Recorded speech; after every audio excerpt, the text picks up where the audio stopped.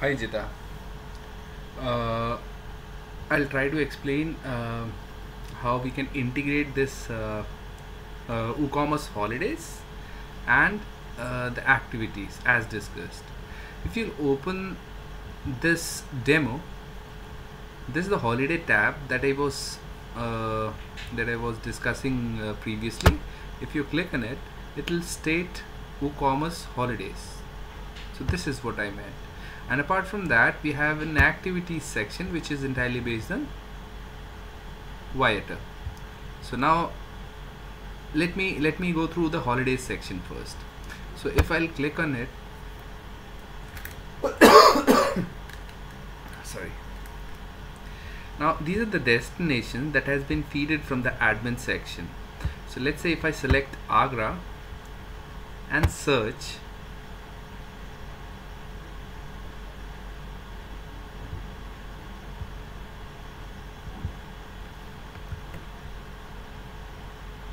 I'll open this in a separate tab in which I'll run this Viator section. Now this is the result of Agra and this is all WooCommerce based. Now in the other screen I'll open uh, the activities from from TripAdvisor. So let's say if I click on New Delhi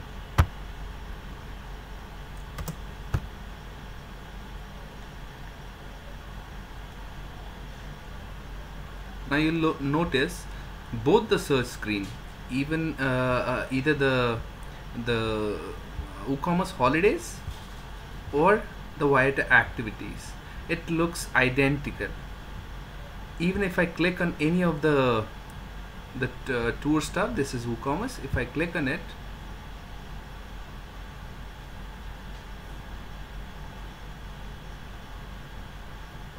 now this shows the detail page of WooCommerce.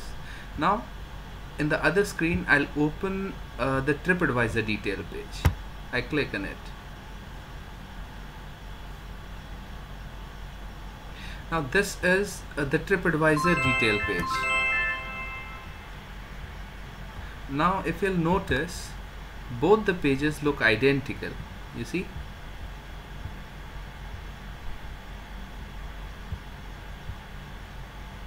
you see? So this is what I meant. Even the search page is identical and the detail page is identical. The the booking page is not identical. The reason behind is this is Viator whereas uh, this one is WooCommerce. So WooCommerce has its own um, uh, booking uh, section. So if I click on it it takes me to the booking section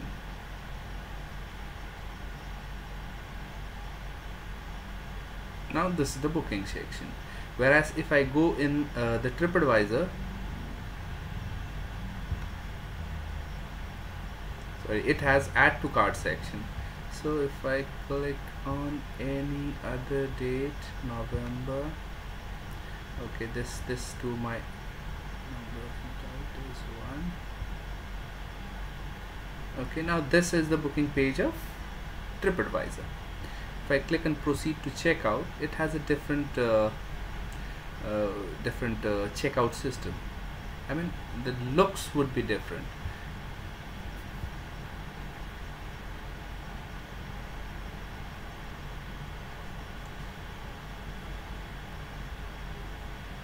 Now this is the booking uh, the Viator checkout system. So it it looks a bit different.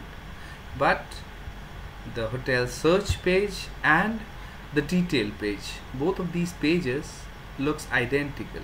So what I what I suggested you is either if they click uh, they they search for any any destination and let's say if, if we have some custom package in that particular destination so what will happen is uh, the results of custom holidays would be displayed on top following with the activities section so in the same destination we'll be having uh, the WooCommerce search results and the TripAdvisor search both uh, kind of merged thing so the customer won't be able to recognize which one is the custom to package and which one is the Viator package. So this is what I meant. I'll show you an example if uh, if it helps you in an understanding. So we have the same thing implemented in the hotel section. So as I stated earlier, hotel section is based on uh, Expedia API. So if I click, if I search for Jaipur, we have uploaded few of the few of the custom hotels in this Jaipur section. So if I search for it,